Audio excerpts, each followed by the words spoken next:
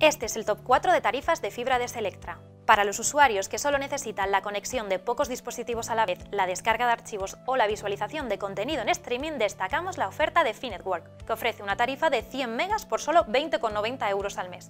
También es interesante la oferta de Virgin, de 300 megas por 33 euros al mes.